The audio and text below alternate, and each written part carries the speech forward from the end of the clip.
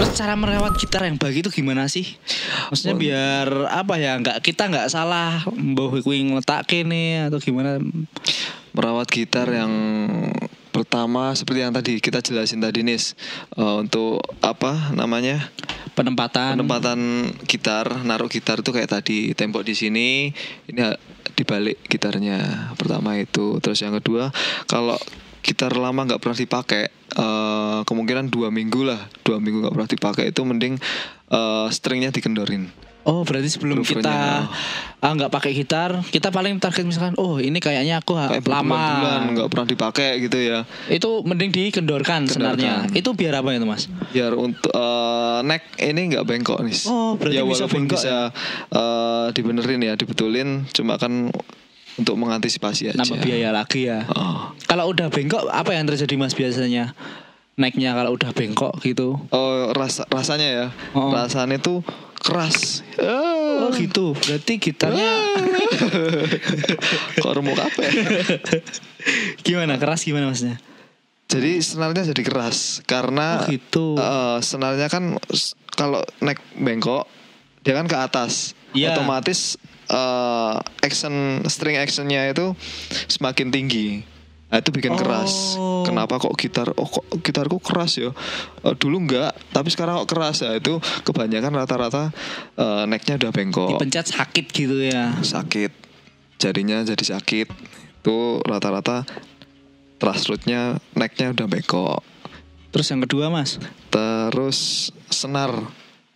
Senar itu kan juga ada jangka, Jangka waktunya. waktunya. Beli di Debistri. Kalau senar tuh biasanya berapa bulan Mas Yogi? Kalau kamu Mik mas, mik mas. Biasanya, tiga bulan. Ah, tiga bulan. tapi itu kalau yang elixir. hmm, Terus kalau yang gampang ngarat, kalau elixir sendiri kan nggak bisa apa nggak bisa ngarat toh. hmm, Nah, terus kalau yang gampang ngarat paling dua bulan lah. Dua bulan itu dalam pemakaian terus menerus ya Iya. berarti ya. Tapi ya tergantung tempatnya lembab apa enggak. Soalnya Betul Miss. Ah. soalnya Oh. misal rumah kita atau apa ya ruangannya lembab itu juga efeknya di senar sama di gitar juga. di kayu yang Nah, pasti. Kayu khususnya. Kalau bisa jangan di tempat yang lembab dan jangan di tempat sing udaranya panas juga. Oh gitu harus bener-bener normal gitu ya udaranya. Nggak terlalu lembab nggak terlalu kering gitu ya. Kalau lembab itu bisa jadi bikin gitar mendem gitu ya mas berarti ya? Mm-mm, bisa banyu nanti jadi akuarium. siap. Jadi ada jamur ini bisa Eh, kita bisa jamur. coba. Selain kita jadi kita, kita jadi pengusaha. tapi kalau untuk udah lembab itu bisa diantisipasi nggak mas? Kalau- caranya. Lembab itu bisa asalkan kita eh, ditempatkan gitar lagi ke apa ya tempat yang nggak lembab ya. Satu tempat yang nggak lembab, terus Ah. bisa juga Dijemur. dijemur, tapi ada waktu-waktu tertentu. Misal jam 9 sampai jam Pagi. 10 pagi, dah itu. itu langsung di matahari langsung atau gimana langsung langsung matahari. Terus Oh, gitu. kalau aku dulu tak kasih merica. gimana itu maksudnya Merica tiga biji itu tak masukin ke dalamnya. Kan merica kan panas. oh gitu itu juga mempengaruhi juga ya Ah, mas ya bisa juga. Kalau misal udah jamur udah banyak udah nggak bisa diantisipasi ya itu masih bisa juga. Bisa dibuang terus beli lagi di Davis. Siap. Kalau kalau anu Mas di ini dikasih silika gel kadang ada yang Ah, silika masukin gel, silika ah. gel gitu masuk ke Silika sini gel itu bisa juga ya. Bisa juga. Oh, Tapi kalau aku lebih efektif itu sih mas, Eh, pakai mericanya itu. Serius, nih, aku dibuang pakai- itu. Oh. Ora ini Murah serius, ini meriah ya. serius. Oh, serius, serius. tiga biji gitu kan merica kan panas. Oh gitu. Tiga biji kecil-kecil itu Mas. Heeh. Dimasukin Oh, baru tahu aku. Kalau enggak gampangannya eh, tapi merica lebih, lebih mudah ya. Carinya lebih mudah, murah meriah ya ta? Hmm. Ya. Kalau enggak eh, teman-teman yang biasanya beli sepatu itu kan biasanya sering dapat silika gel kertas itu ya. Oh, itu sih Ah, juga, kalau- ditoples gitu. Oh benar itu kalau nggak Ciki-ciki. nggak digunain ya sini weh juga bisa atau kita dikasih hard case nanti baru dikasih silika gel untuk lebih apa ya Biar aman nggak lembab ya. betul Harganya beli di mana mas? hard case nya tetap beli di Devi String Iya. Siap. Kembali lagi ke senar bengong tadi. Kalau udah bengong itu fals gitu nggak sih mas? Fals jelas. Oh, gimana? Jelas. Falsnya yang gimana, Mas? harmoni. Jadi kalau eh, kita tuning Udah bener. oh, udah bener nanti eh, di los main los gini tuh Udah nggak fals itu. udah power accord gini jebret Oh mesti ngalor fals ya. Heeh. Misal di sini kita pencet nada E. Eh di sini fals, di sini nggak fals, Eh. kita macam sini fals. Oh gitu. Jadi coba ini Kelihatan di, ini? dipencet mas. Contohnya kayak gini nih. Lah kalau ini yang main sing fals. itu yang main. Tangannya fals mas. Nah, kontemporer. Kontemporer. Mau ketemu nih.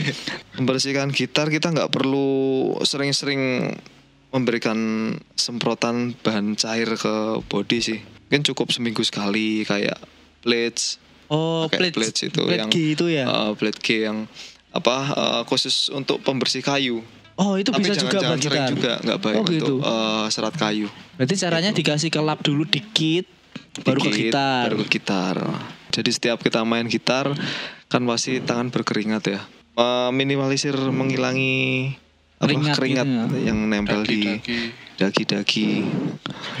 itu wajib ya biar gak karatan Oh, gitu oh, ya. Kalau aku malah ini sih. Apa eh, kamu punya tips apa ya? entah itu gitar klasik apa gitar elektrik itu malah aku menyarankan pakai minyak kayu putih Oh itu juga bisa juga tuh. Daripada Selain baby oil. loh. Jadi ada baby oil, ada minyak, kayu putih. Kalau aku kering ya, lap kering.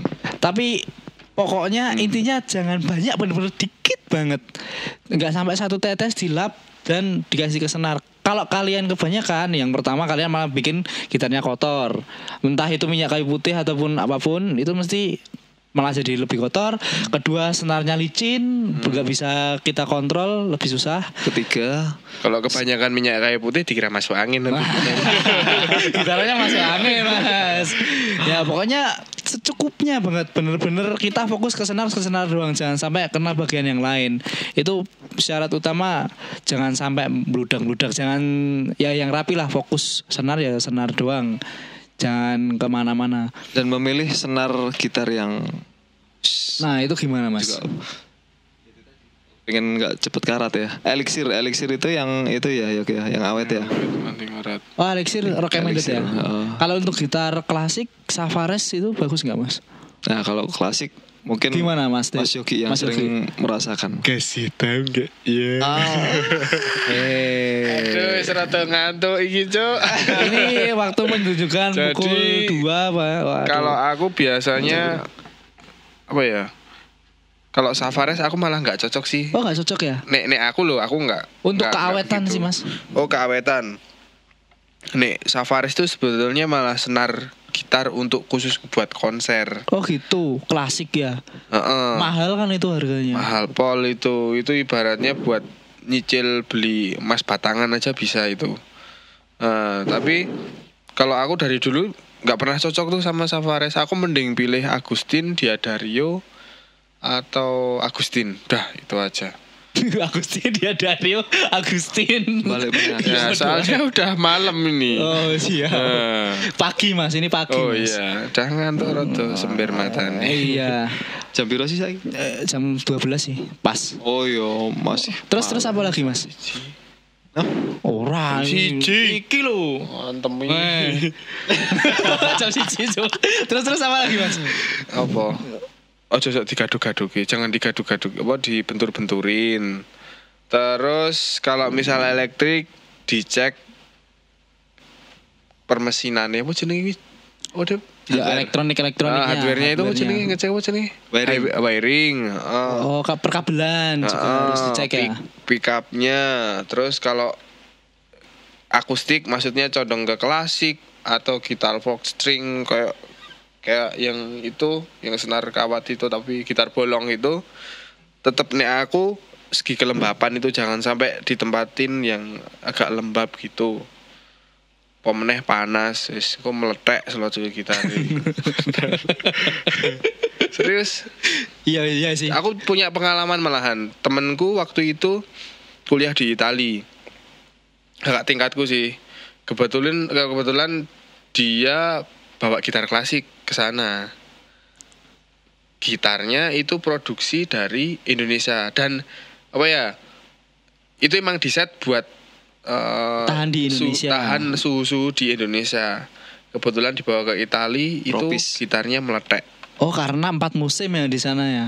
Ya emang nggak nggak kuat Di nggak kuat nganu iklim sana. wae. Tadi apa sampai di body body gitarnya itu meletek, jangan meletek, tek tek tek tek jangan meletek.